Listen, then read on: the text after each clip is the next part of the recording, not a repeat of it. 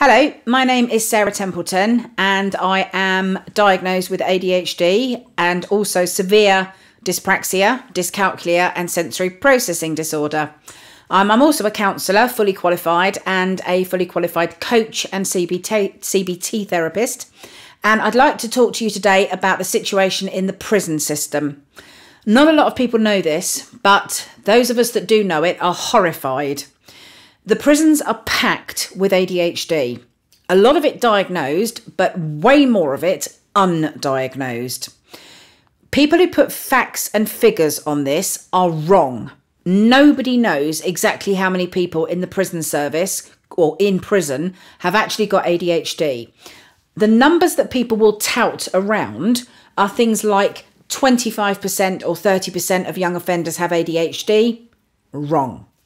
Some people say 25% of the entire prison population have ADHD. Wrong. The reason why I know it's wrong is that because most of these people who've got ADHD don't even know they've got it. I've worked in four prisons, two of them adult male prisons, and two young offender institutes, one of which was also an adult male prison. So I've worked with boys from 19 up to 40s and the vast majority of these are ADHD. I'll give you one example from Aylesbury Young Offenders. In the year I worked there as a counsellor, I had six clients. Of those six, three had been diagnosed as children, but none of them were on the medication. Two of the six, I've gone on to get diagnosed ADHD on the outside. So that is five out of six clients at Aylesbury Young Offenders who were ADHD. I think, as a very rough guide, I always say it's probably three in four people in young offender institutes have got ADHD. That's just a very rough guess from working with hundreds and thousands of them. Because not only have I worked in four prisons, I've also, for the past 30 years, volunteered with the homeless, with ex offenders, and with addicts. Now, all of those ex offenders I've worked with, and actually all the homeless people as well, and that's male and female, they've all been ADHD. So when I say that when I I think it's roughly three in four in in young offenders who've got ADHD, that's a guess. However, I know a lady who is a mental health nurse. She has worked in the adult male prison environment for 20 years. Now her estimation is 85% of people in prison have ADHD. Now, that's a figure, it's an estimation, but it's one that is based on fact. It is based on the amount of people she has seen in 20 years who are ADHD and are in prison. I also know a psychiatrist who worked in a prison for six years. He said he spent all day, every day, for six years diagnosing people with ADHD, day in, day out diagnosing, diagnosing, diagnosing, diagnosing. In the end, he said to me that he had to leave because although he'd been doing it for six years and he knew that there was a massive need for it because there were these thousands of people trapped in the prison system with ADHD, he was worn out after six years of doing it. So, everybody in the know, everybody who's worked in prisons, everybody who has been a counsellor in prisons, prison officers, healthcare, lots of people know that the prisons are packed with ADHD, but nobody is yet doing anything about it. And this annoys me, annoys me intensely, because there are so many boys and adults that I know personally that I know who are stuck in the prison system because they just can't stop doing petty crime when they come out. I'll give you a very good, well, I've got some examples for you. One was a boy who was diagnosed as a child. When he was due to come out of Aylesbury prison, I linked him up with a housing charity who were going to house him and going to help him for the next two years to stay out of prison. The psychologist at Aylesbury Prison had other ideas, and she banned that from happening purely because she was a nasty piece of work and she didn't want any any help for these boys. So she completely kiboshed that. So when that boy did come out of prison, he didn't get any help with the housing, and within 24 hours, he was back in prison. Because the first thing he'd done was come out, get drunk, go on the rob, and get put back in prison. And he was back in prison for 18 months. Now, had that boy, who was diagnosed as a child, been on ADHD medication, it's much less likely that he would have committed crime the day he came out of prison. So that's one example. Another example, somebody who was 33, who I first worked with in Portland prison. He'd been in and out of prison since he was about 17, I think. I met him when he was in his very early 30s. When he was out of prison, I spoke to his probation officer one day and I said, Look, it's your job to keep him out of prison. I'm going to tell you what will keep him out, and that is getting him diagnosed and medicated. The probation officer thanked me. She said, Sarah, you're the only person who's rung up here in 20 years with anything faintly useful. So she said, Leave it with me. I'm going to get this boy on ADHD meds. And she did. Somehow, I've no idea how, she got this boy two weeks' worth of ADHD meds. She put him on ADHD meds. And during that fortnight, he rang me up and he said these words. I will never forget these words. He said, Sarah, I can't guarantee it, but I think if I'd been on this medication all my life, I don't think I'd have committed any of those crimes because I feel completely different. Now, that was a boy who'd been in and out of prison all his life, and he is currently back in prison for something he'd done before his probation put him on those ADHD meds. Now, that's a boy who was a prolific offender, in and out, in and out, in and out, in and out, loads and loads and loads of, of, of silly, silly crime. Nicking cars, offending, drug stuff, um, criminal damage, all you know, no, no murders, rapes, none of that. Just silly, silly, silly stuff, but loads of it, which is very typical for ADHD people. So if that one boy can say to me, I don't think I would have committed any of that crime because I feel completely differently, how many more people don't need to be in prison because they aren't assessed and diagnosed and on the right meds? Now, that boy, with his probation, we fought when he got put back in prison. I and his probation, we fought for the local ADHD assessment centre to go into the prison and diagnose him, which they did. It was a battle. I can't begin to tell you how many letters, phone calls, emails we had to send to get that to happen. But after about, it must have been the best part of a year, eventually they went into the prison and they diagnosed him and put him on the meds they need to do that times about, I don't know, a hundred thousand or however many. I haven't got a clue how many offenders there are in prison in the UK. I probably should know, but I don't. But the vast majority of them have got ADHD. But what the prison service are doing instead is they're dying a lot, diagnosing a lot of them with EUPD, which stands for emotionally unstable personality disorder. Now, why do they do this? There's two ways of looking at it. Do they do it out of ignorance? genuine ignorance because they don't understand adult ADHD. Perhaps they've not been trained in it. They've only been diagnosing adults with ADHD since 2009. So perhaps these people genuinely don't know about ADHD and they genuinely think that the emotional dysregulation, which is the biggest part of ADHD, they mistake that for emotionally unstable personality disorder. So there's a lot of boys in prison walking around with these wrong diagnoses. They've got unstable personality disorder, histrionic, uh, schizoaffective, all these different personality disorders they're labeled with when actually it's ADHD. Now, there's, as I say, two ways of looking at it. Is it ignorance and the genuine ignorance that the, the healthcare people haven't been trained in adult ADHD, so they don't know how to spot it? Or, more worrying, is it because ADHD medication costs money? ADHD medication costs money. Not only that, but it has street value in prison because ADHD medication is speed basically it's it's what people would take as speed so there are all sorts of different ADHD meds and I'm not going to go into them now but there's loads and loads of stimulants and non-stimulants but a lot of them a lot of ADHD medication has street value and what boys were doing on ADHD meds before were taking the ADHD meds coughing it up and selling it however we can get around that because the, the, the number one medication for ADHD now is Elvanse, and Elvanse comes in capsule form. So you can open the capsule, put it in liquid and make a boy drink it. And no boy in the world is going to sick up his orange juice and give it to somebody else. That's not going to happen. But the pills, yes, they could. So are they misdiagnosing people in prison through ignorance or are they doing it because they don't want the hassle of, of medicating ADHD people? And also, it costs money. ADHD medication isn't cheap. It's very effective, but it isn't cheap.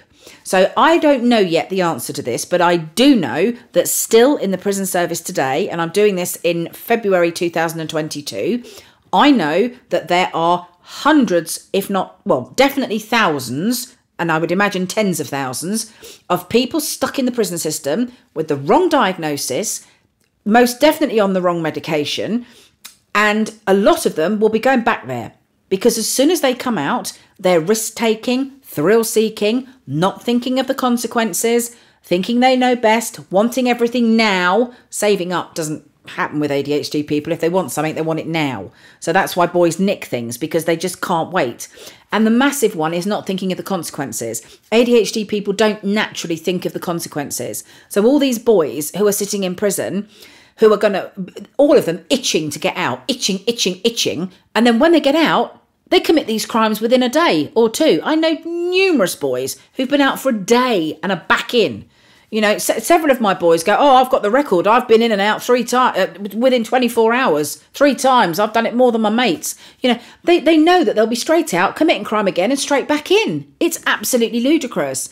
So I've set up a charity now called ADHD Liberty. Even that took doing. It took us five applications to the Charity Commission. We were knocked back four times. In the end, I got a black solicitor on it. I said, You know a thing or two about discrimination. I think we're being discriminated because we want to keep ADHD people out of prison. I hope that's not the case, but I suspect it is. So he put in the last application, and after five times, we were allowed to set up a charity to keep ADHD people out of prison. But it took five applications. What does that tell you? What people think where ADHD people should be? So we've now set up this charity. We've got phenomenal people involved. For starters, we've got two serving Met police officers who are both diagnosed ADHD. We have somebody in Sussex Police who is also diagnosed ADHD. We have an ADHD psychiatrist who specialises in the link between addiction and ADHD, and he's diagnosed ADHD as well. We have a neuro consultant. We have a neuro consultant from a very, very well known hospital in this country. She was seeing boys being brought into her with head injuries from the prisons, the same boys over and over and over again. She actually then realised that, hang on, these boys have all got ADHD. This is why they can't stop punching each other. This is why they can't stop they, they can't stop doing what they're doing because it's the ADHD. So she asked the powers that be, could she please diagnose these people? She's a neuroconsultant. She's able to diagnose. She was told, no, they're not worth it as in they're offenders, so they're not worth it. This incensed her so much that she Googled until she found me. And she said, Are you the Sarah Templeton that's very angry about the situation in prisons with ADHD? And I said, Yep, that's me. Why? And then she said, I'm livid. I'm steaming. They told me these boys aren't worth it. They're not worth being diagnosed because they are offenders. So we have a fantastic team on ADHD Liberty now. And our mission now is to get everybody tested for ADHD when they go into a police station for the first time and again if they go again, and also for boys to be tested on induction wings. Induction wings in prisons, not a lot of people know this except those of us who've worked in there. Everybody who goes into prison for the first time or is moved from another prison, which happens all the time, they're constantly shuffling people around. Every single time they move prison, they have to go on an induction wing. The boys sit on this induction wing for two weeks and they're mostly bored stiff because they're not allowed to go to education, they're not allowed to go to the gym, they're not allowed to go to work, they're not allowed to go to the library, they're not allowed to do anything, they're not allowed visits, they're not allowed anything. All they're allowed to do on that wing is be tested. So they are testing them for their sight, their hearing, their English, their maths, whether they hear voices, uh, whether they self harm. So the, these tests take a few hours and they're sitting there for a fortnight. And the one thing they are not being tested for is the one thing nearly all of them have got ADHD. So why aren't they testing them? I've sat in front of the government, I've sat in front of the Justice Minister, I've done a speech to him and said, This is crazy. You're testing them for everything except the one thing most of them have got He's agreed with me. Now, sadly, that Justice Minister lost his job before COVID and then COVID hit. So we've been very held back. But we aren't anymore. We are now a registered charity and we are now pushing to get the government to agree that we know they already agree. We know that they know there's a lot of ADHD in prisons and they know that we're not testing for it.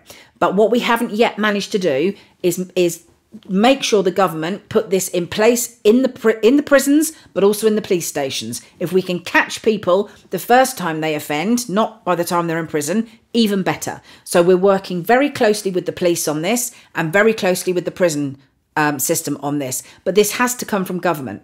So if you hear about our charity, ADHD Liberty, and you want to donate and help us, please do. Lots of people donate because lots of people are passionate about this, and we're very, very grateful for all the help we can. But really, what we what we want to do is to get people to understand why these boys are in prison with ADHD. On the whole, it is not for the major crime. It's not the murders. It's not the rapes. It's not the GBH with intent Mostly. Mostly it is the minor, petty stuff. It's nicking things, breaking things, kicking things, criminal damage, nicking from shops, all that sort of stuff, and fighting. Fighting massively. And also drug dealing because there's a big buzz for, with drug dealing. So a lot of ADHD people do deal because they make a lot of money that way. So these are not your rapists and your murderers and your paedophiles. On the whole, these are petty petty criminals and they are going to keep going in and out until we change. It's not them that can change. We need to change the system. We need to change the fact that they are not being assessed and diagnosed and medicated when they should be. Once we get that right, everybody wins. Number one, the prison system will halve, if not 75% of it will close down. We don't need to be locking up all these ADHD people. On top of that, there'll be a lot less crime because, as I said, all these boys are out nicking, purse, nicking purses, nicking wallets, nicking watches. There'll be a lot less crime, a lot, a lot less robberies, a lot less burglaries, and a lot less muggings. So, surely that's a good thing. And also, the cost on locking up people will be so much reduced. So, the government will make a lot of money by actually bothering to test these people for ADHD, getting them on the meds, and getting them out of the prison system. It's not difficult, it's not rocket science. And we, my team, with my psychiatrist, with my police, with the prison staff we've got, with the neurosurgeon, and our charity ADHD Liberty, we are absolutely determined to change this system. When I left the prison service in 2016, not by choice, they don't like me, the prison system, because I care about ADHD people too much. So the prison system don't like me much. So when they got rid of me in 2016, I swore to all those boys that I will never ever forget you. I will come out here and I will plug away and I will make damn sure that we change the laws, that we get you tested for ADHD on these induction wings. And actually, since I've come away, I've now met a lot of the police who are also very pro getting people diagnosed. So now we're trying to get people assessed even before that when they first go into a police station. I will not give up. This will change. These offenders will be tested for in prisons and on induction wings, and I will not go away until that happens. So if you hear anything about ADHD Liberty, please support us because this is massive. It affects everybody in this country, absolutely everybody. And it's something that needs to happen and needs to happen soon because it's way, way, way overdue.